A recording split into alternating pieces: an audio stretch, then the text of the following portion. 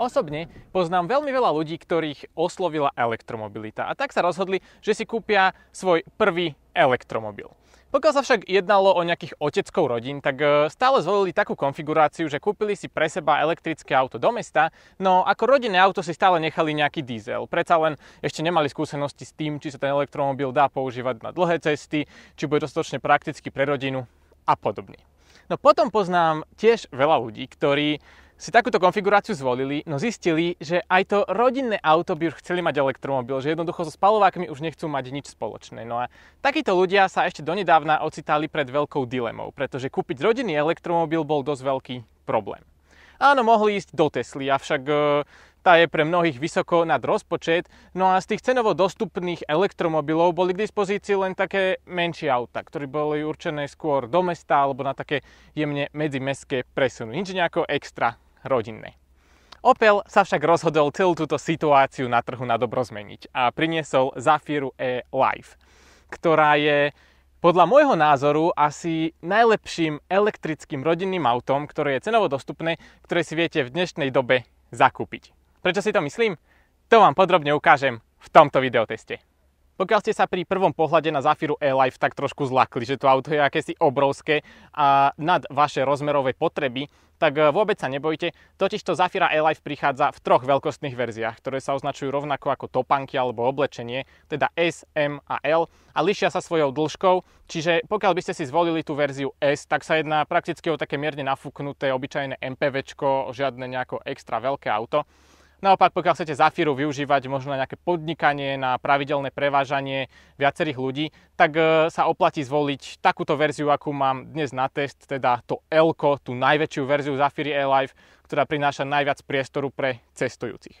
Toto konkrétne auto je naviac v najvyššej výbave Elegance, takže tu máme prakticky úplne všetko, čo si do tej Zafiry E-Life môžete priplatiť a môžeme si na niektoré prvky tej výbavy posvietiť. Napríklad tu máme xenonové predné svetlomety. Možno je trošku škoda, že Opel sem nedal tú svoju perfektnú LED technológiu alebo dokonca Matrix LED technológiu, ale tieto xenony svietia celku dobre a je tu aj automatické prepínanie ďalkových svetiel, pričom tie ďalkáče majú dobrý dosvit. Smerovky tu zostali klasicky halogénové, no tento ledkový pásik sa stará o denné svietenie. Keď sa na Zafiru E-Life pozrieme z, boku, tak eh, si môžete všimnúť 17-palcové zliatinové disky kolies. Tiež sú tu také pekné detaily, napríklad zatmavené zadné okná alebo chromové prvky na kľúčkach. Takže páči sa mi, že tá Zafira nevyzerá ako nejaký taký zosobnený užitkáč, ale ako plnohodnotné, elegantné, štýlové osobné auto. To je fakt super. Táto konkrétna verzia, na ktorú sa pozeráte, má väčšiu kapacitu baterky na úrovni 75 kWh to je hrubá kapacita, využiteľná by mala byť na úrovni 68 kWh. Pokiaľ však chcete, tak tú Zafiru E-Life si môžete kúpiť aj s 50 kWh batériou. Osobne by som však uprednostnil pri takto veľkom aute práve tú 75 kWh verziu, ktorá už zabezpečuje slušný dojazd a nemusíte sa bať, či dojdete k najbližšej nabíjačke. Nabíjací konektor Zafiri E-Life je umiestnený tu vpredu, čo je super, pretože s takto veľkým autom cúvať k niektorým nabíjačkám vie byť komplikované. Vďaka tomuto riešeniu som nikdy nemal problém k tej nabíjačke prísť a auto komfortne nabiť. Keď sme pri tom nabíjaní, tak eh, Zafira E-Life má zabudovanú palubnú nabíjačku s výkonom 11 kW a pri jednosmernom prúde umožňuje nabíjanie výkonom až 100 kW, čo znamená, že z 0 na 80% sa dokáže nabiť za 48 minút, čo je fakt veľmi pekný čas, vďaka tomu nestrávite zbytočne veľa času na nabíjačkách. Pokiaľ som ju nabíjal z 50 na 100%, eh, kedy je ten nabíjací maximálny výkon o niečo znížený, aby sa chránila batéria, tak nabitie z tých 50 na 100% mi trvalo 45 minút. Takže stále v celku pekné hodnoty. Pri domácom nabíjaní, kedy je ten nabíjací výkon na úrovni 2,2 kW, vám nabitie z 0 na 100% zabije vyše 30 hodín. Takže pokiaľ budete mať Zafiru E-Live a chcete ju nabíjať doma, tak vám odporúčam zakúpiť si Wallbox, ktorý umožní vyšší nabíjací výkon. Tu je taký vtipný prvok, takáto zaslepená pôvodná nádrž na palivo, No a vzadu sa ešte môžeme pozrieť na batožinový priestor, ktorý sa otvára manuálne. Treba sa trošku zohnúť k tejto kľúčke, takže pokiaľ ste vyšší, tak je to taká jemná gymnastika. No ten priestor je tu fakt dobrovský. Všimnite si, že tu máme osadené všetky tri rady sedadiel a stále je tu dostatok priestoru na to, aby som tu spravil menší nákup v IKEA. Tu mám osobne vyskúšané, takže je to super. Sú tu nejaké kotevné oka, je tu žiarovka. Pod podlahou už samozrejme nič nie je, no Opel uvádza, že tá verzia L by mala mať e, nákladný priestor s e, veľkosťou, respektíve objemom až 4,9 metra kubického, takže myslím, že tu o, o priestor naozaj núdza nebude.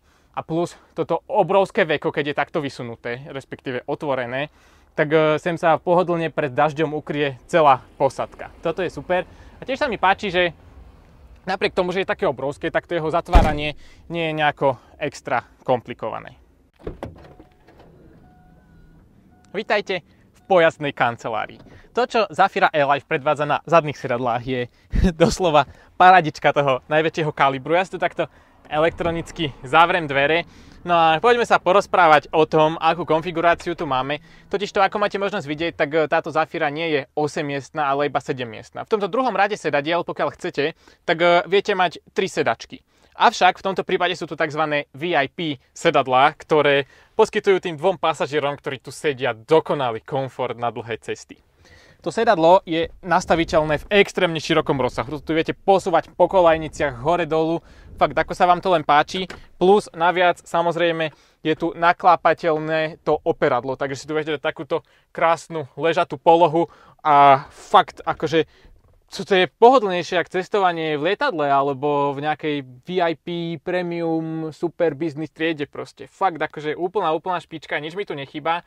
Máme tu aj takéto vysuvné tienidla, tieto zadné okná sa nedajú otvárať, avšak vôbec sa nemusíte bať toho, že by tu bola nejaká absencia vzduchu, totižto máme tu veľa výduchov ventilácie v strope a zadní pasažieri si tu vedia samostatne ovládať e, rýchlosť ventilátora, toho prúdenia vzduchu a taktiež aj meniť teplotu. Takže o vzduch tu ukratený rozhodne nebudete a ukratený tu nebudete ani o svetlo, pretože si tu viete odklopiť takéto dlhočízne strešné okno, a mať tu krásny výhľad na slnko, na hviezdy, na lietadla, na čokoľvek, čo sa na tým autom nachádza. Proste krása. Tuto je taký malý vyklopný stolík s držiakom na napoj. Tuto je aj taká praktická gumička, kde si zachytíte nejaké veci.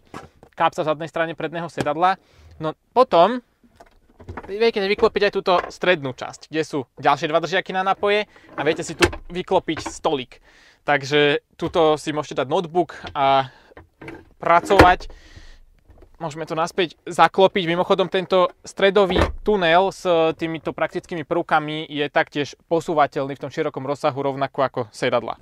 V zadnej strane tohto tunela je ešte taký obrovitánsky odkladací priestor, na spodku ktorého je také pogumovanie, takže veci v ňom nebudú rachotať. Krásne praktické riešenie. Mimochodom, tieto sedadlá majú lakťové opierky z obidvoch strán, pričom tie lakťové opierky sú výškovo nastaviteľné. Akože tu mysleli fakt, že úplne na všetko, tu si ten komfort nastavíte na takú top úroveň, akú si len predstavujete. A keď sa ešte mám vyjadriť k tým samotným sedadlám, okrem toho, že majú praktické izofixy a sú celokožené, tak e, sú naozaj veľmi komfortné. Nie sú nejako extra široké, ale sú to také príjemné gauče, sú v takej optimálnej výške a jednoducho vôbec žiadna výhrada k týmto sedadlám smerovať nebude.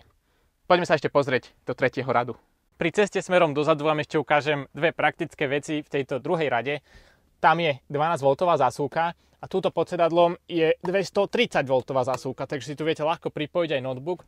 A ešte, keď sa pozrieme tu do dverí, tak aha, tam je taký drobný priestor, síce nemá nejaký veľký výrez na flašku, ale zmestíte tam nejaké drobnosti, takže to je fajn. No, poďme si posunúť toto sedadlo dopredu. Potom vám tu smerom na zadné sedadla vznikne taký dosť príjemný nastupovací otvor. A v podstate, samozrejme, treba tu zvoliť nejaký taký kompromis, že aby mal dostatok miesta ten človek v druhom rade aj v treťom rade.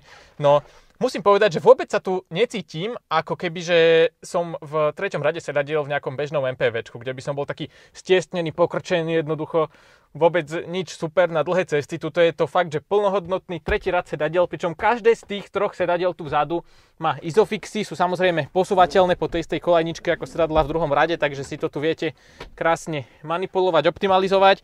A taktiež je tu naklapateľné operadlo, taktiež v takom širokom rozsahu, ako je v prípade tohto druhého radu. A to naklapateľné operadlo je samostatne naklapateľné pre všetky tri sedadla, takže tu viete nezávislo meniť tie sklony. Taktiež tu máme takýto odkladací priestor, takúto lakťovú opierku, ktorá je tvrdá, ale v zásade nejako mi neprekáža. Tam máme 12V zasúku, takže ako čo viacej proste kapsy v zadnej strane týchto sedadiel. Fakt, že mi tu nič nechýba a verím, že prostredníctvom tejto páčky si viem naklapať aj toto sedadlo predo mnou podľa potrieb a samozrejme v tejto Zafire si viete veľmi jednoducho tie sedlá vybrať. Proste ľahko si to demontujete a viete si tu ten interiér usporiadať podľa vašich predstav. Takže vzadu taktiež úplná spokojnosť bez výhrad. Prosto toto je po stránke priestrannosti, komfortu, interiéru jedna obrovitánska topka. Či už pre veľkú rodinu, alebo pre nejakého podnikateľa, ktorý chce čo najviac pre svojich zákazníkov. Takto vyzerá kľúčik od Zafiri Alive. A okrem tých klasických možností sú tu dve takéto prídavné tlačidlá na elektronické otváranie tých zadných dverí. A samozrejme máme tu aj systém bezkľúčového odomykania, takže takto jednoducho si to auto viete zamknúť a následne aj odomknúť, bez toho, aby tu bolo nejaké nepekné čierne tlačidlo. To je super. Dvere sú klasicky dosť obrovské, také jemne mikrobusové. No obrovský je aj tento odkladací priestor vo dverách, dokonca je tu viacero takých rôznych priehradiek, takže túto núdzu o priestor naozaj mať nebudete. Osobne, keďže s týmito typmi aut veľké skúsenosti nemám, tak som mal trošku takú dilemu, že ako do tej Zafiry nastupovať, či nejako takto, hentak alebo čo. No potom som prišiel na riešenie takto pekne z boku, zasadiť sa dovnútra a krásne tu sedíte vo svojom kapitánskom kresle. Tak, tieto veľké dvere si môžeme zatvoriť. No a tieto sedadlá si podobne ako sedadlá v druhom rade zaslúžia obrovskú pochvalu, pretože sú krásne komfortnými gaučami. Mám taký pocit, že sú v podstate také isté ako tie sedadlá v druhom rade. No fakt to vôbec neprekáža, pretože ten komfort je na super, super úrovni. Máme tu toto vyklapateľné operadlo na ruku, taktiež výškovo nastaviteľné, veľmi komfortné. Hoci je také ušie, ale v podstate v tomto prípade mi to až tak neprekážalo. Táto hrubá opierka na ruku vo dverách je vyrobená z tvrdých plastov, ale v podstate tiež mi to nejako neprekážalo. Strávil som tu niekoľko stoviek kilometrov, som si tu opieral lakeť, vôbec ma nejako nebolel, takže to neprekáža. V podstate vlastne všetky tie plasty v interiéri sú tvrdé, ale tak e, to myslím, že pri tomto koncepte auta je bežná vec a hlavne tie plasty pôsobia kvalitne, pôsobia solidne, pôsobia tak, že tu vydržia stovky tisíc kilometrov bez toho, aby sa rozpadli. K tým sedadlám ešte dodám to, že aj vodičovo, aj spolujazdovo sedadlo je nastaviteľné kompletne elektronicky. Je tu možnosť masáže, viete si tu vybrať v podstate iba jednu masáž, ale viete si tu nastaviť e, viacero rôznych intenzít, taktiež tu nastaviteľná bedrová opierka. A bohužiaľ tie predné sedadlá sú iba elektronicky vyhrievané, nie sú o, chladené, čo by som možno privítal sladom na to, že sú celokožené, ale tak e, dá sa to tu nejako prežiť. Samotná tá koncepcia interiéru je taká veľmi pekná, prehľadná, Čiže keď si to auto prebudíme k životu, tak e, sa vám tu zasvietí infotainment, klasický oplovský, ktorý poznáme aj z iných modelov. Je to taký prehľadný systém, možno trošku mu trvá, kým e, sa prebudí kompletne k životu. No následne tu máme rádio, máme tu možnosť e, vstávanej navigácie, je tu také elektrické podmenu, kde si vy môžete pozrieť nejaké štatistiky jazdy, nastaviť si čas nabíjania a taktiež si viete nastaviť aj to, aby sa vám to auto pri pripojení na nabíjačku v nejakom čase vychladilo alebo vyhrialo. Čo mi možno trošku chýba, tak je taký pokročilejší systém toho nastavovania nabíjania, aby ste si tu okrem času vedeli vybrať aj nejaké nabíjacie výkony, vedeli vybrať nejakú maximálnu kapacitu, do akej sa má tá batéria nabiť a podobne, čo majú niektoré iné elektromobily. Tuto je to bohužiaľ také primitívnejšie a také tie pokročilejšie možnosti tu chýbajú. Každopádne ten displej, keď už sa trošku prebudí, tak e, vie rýchlo reagovať na dotyky, v podstate rýchlo tu nájdete všetko, čo potrebujete, je taký prehľadný, intuitívny, takže s týmto sa robí super. Následne kompletne manuálne ovládanie ventilácie, viete tu zapínať, vypínať aj ventiláciu pre zadných pasažierov. Tu máme tlačidla na otváranie dverí, zamknutie, no a následne takýto pekne zapracovaný volič automatu a volič jazdných režimov. Čo sa týka ešte odkladacích priestorov, tak e, tu máme takú priehradku tu je priehradka, tu je ďalšia priehradka takáto s takýmto krásnym semišom. tuto je veľká prehľadka na vrchu prístrojovky, no a na vrchu prístrojovky si taktiež môžete všimnúť head-up display, také toto jednoduchšie riešenie, kedy sa tie údaje premietajú nie na sklo, ale na takúto výsuvnú tabličku.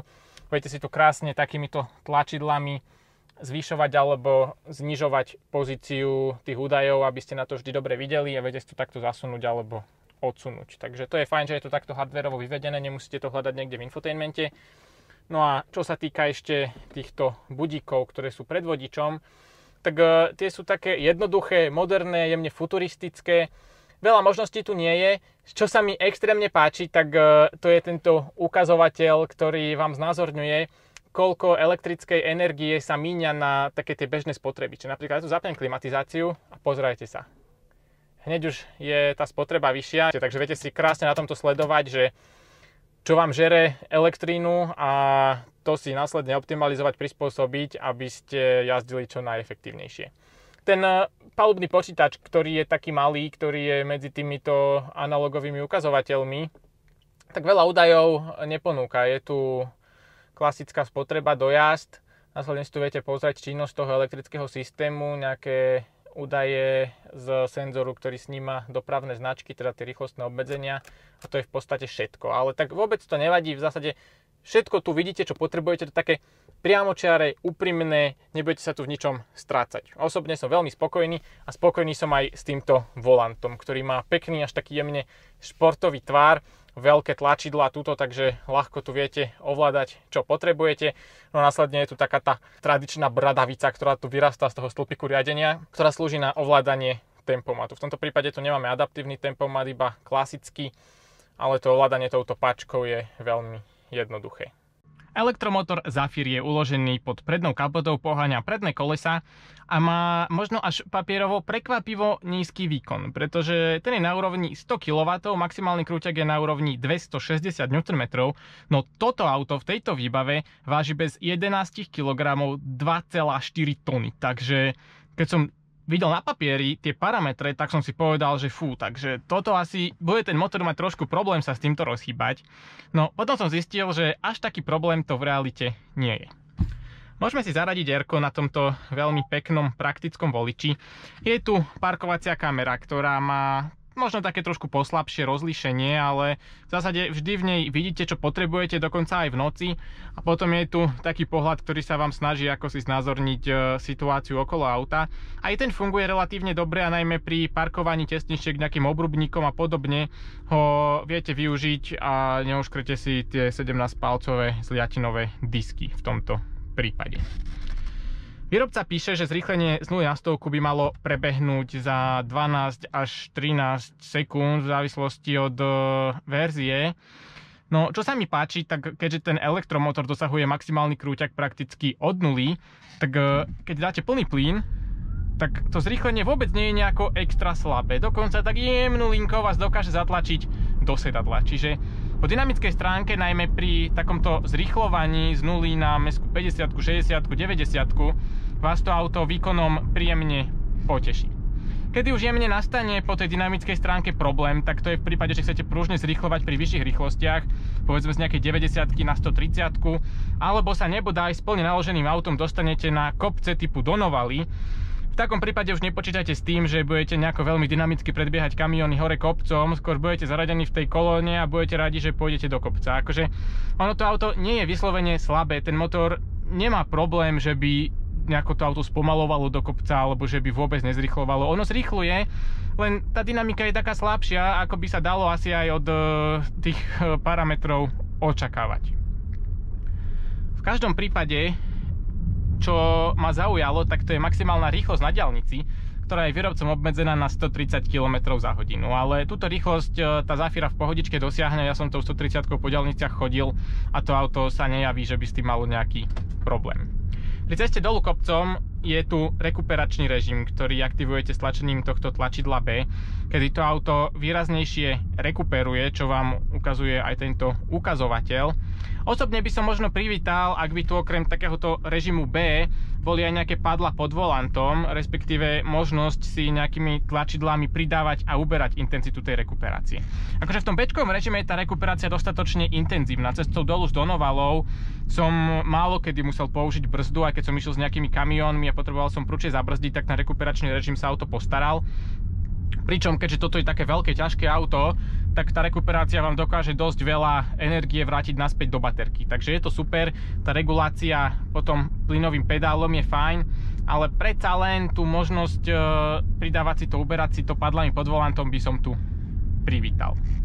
Čo sa mi páči, tak to je aj sila samotných brzd. Pokiaľ tá rekuperácia nestačí a potrebujete prudko zabrzdiť, tak uh, tie brzdy absolútne nemajú problém. Tu 2,4 tónovú Zafiru krásne ubrzdiť aj v nejakých prudkých klesaniach. Takže to je naozaj super, s týmto problém nie je vôbec žiaden.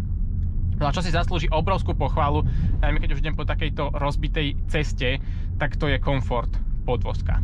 Ten je fakt skvelý. Akože bol som na rôznych veľkých nerovnostiach, dal som tej Zafire zabrať aj po stránke takých ostrejších priečných nerovností, rôznych spomalovačov a podobne a vždy si s mojimi nástrahami poradila bez akýchkoľvek ťažkostí. Jednoducho, ten komfort je fakt super a hlavne ma prekvapuje ten komfort aj pre zadných pasažierov. Napriek tomu, že tam máme tú vlečenú, veľmi jednoduchú zadnú napravu, tak e, ani tí zadní pasažieri nepociťujú nejaký diskomfort, nejaké veľké vibrácie, veľké odskakovanie tých kolies a podobne. Proste to fungovanie podvozka je super.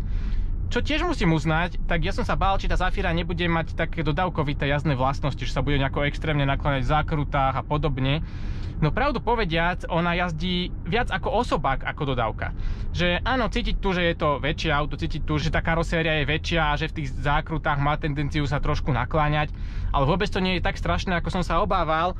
Aj keď som si niektoré zákruty prerezal tak dynamickejšie, ako by som to spravil s bežným osobákom, tak e, tá Zafira sa vôbec nezlakla a krásne, stabilne sa správala. Takže ja osobne som spokojný. Máme tu aj možnosť výberu z e, troch jazdných režimov. Ja som jazdil stále v režime normál, no potom je tu aj režim Eco, kedy sa trošku zmení naladenie toho akcelerátora, no čo je hlavné, tak e, sa obmedzí výkon e, tej vzduchotechniky, čo vám pomôže ušetriť nejaké tie kWh naviac. No a následne je tu režim Power, kedy naopak tá reakcia na akcelerátor je brutálna, takže to auto má hneď tendenciu letieť vpred. To je príjemné a na takýchto okreskách, akože tá Zafira sa vôbec nejaví ako nejaké slabé auto a funguje fakt krásne. Ani spoza toho volantu nemám pocit, že šoferujem nejakú dodávku. Áno, je tu to veľké čelné sklo, vidím v späťákoch, veľkých, veľmi pekných späťákoch, že za mnou je kusisko auta, ale necítim sa ako šofer dodávky, proste fakt cítim ako v nejakom normálnom väčšom osobaku tu ešte bude jedna taká ostrejšia zakruta, tak uh, si môžeme prejsť takto dynamickejšie, čo to spraví. Úplná, úplná paradička. Samozrejme, takto jazdiť nebudete chcieť, pretože ak tu budete mať naloženú rodinu alebo nejakých zákazníkov, tak oni nebudú chcieť zažívať dynamiku, budú sa chcieť odviesť komfortne, príjemne, bez nejakých veľkých preťažení. A práve to ten elektrický pohon umožňuje na jednotku. Tie rozbehy s tým elektromotorom sú také lahodné, vláčne, plynulé, ten kontinuálny záťah bez toho, aby tu bolo nejaké radenie, nejaké škúbanie dopredu, dozadu, to sú všetko benefity, ktoré tá posádka veľmi ocení a ten elektrický pohon umožňuje vodičovi jazdiť oveľa, oveľa plynulejšie, ako keby tu bol klasický spalovák a automat alebo manuál. Proste toto vnímam ako veľký benefit, plus benefitom je aj to ticho na palube. Jednoducho nehučí tu žiaden motor. Jediné, čo to ticho mierne narúša, tak to je pri vyšších rýchlostiach aerodynamika, predsa len je tu takáto škatula, takže to sa dalo čakať.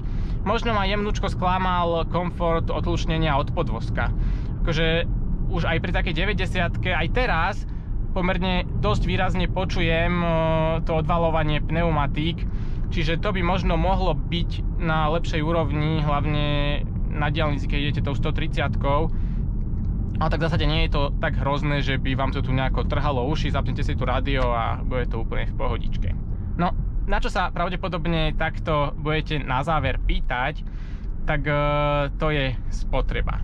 No a tá samozrejme veľmi závisí od toho, kde zo Zafirou budete jazdiť. V meste, v Bratislavskej premávke, keď som mal zapnutú klimatizáciu, som sa dostal na spotrebu 17 až 18 kWh na 100 km, čo by pri 68 kWh využiteľnej kapacity batérie znamenalo, že po meste dokážete prejsť nejakých 370 km na jedno nabitie. Keď som išiel po diálnici rýchlosťou 115 km za hodinu, tak e, spotreba sa ustalila na úrovni 26 kWh na 100 km, čo znamená na plnú baterku dojazd cca 260 km.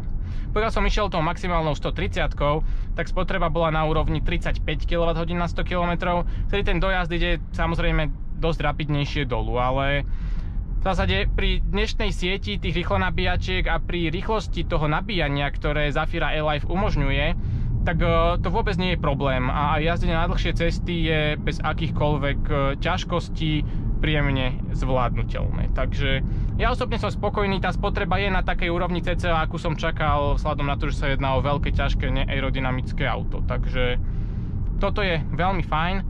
To, čo mal byť pôvodne testík len nejakej novej elektrickej Zafiry, nakoniec končí tým, že som úplne zmenil môj názor na takéto minivany.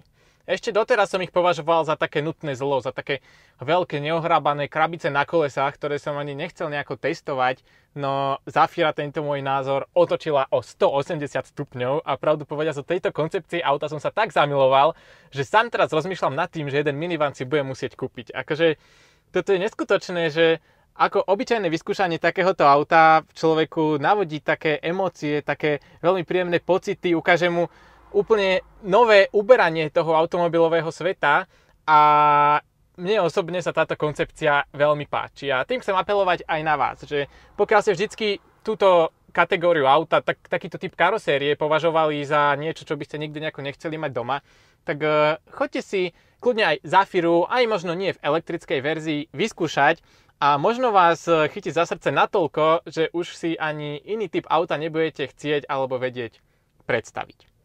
A na margo tejto elektrickej Zafiry musím povedať, že sa jedná o veľmi dobre zvládnuté auto. Na to, že je to v tomto segmente taký unikát, také niečo, čo tu veľmi nebolo, tak Opel sa s tým vysporiadal vynikajúco.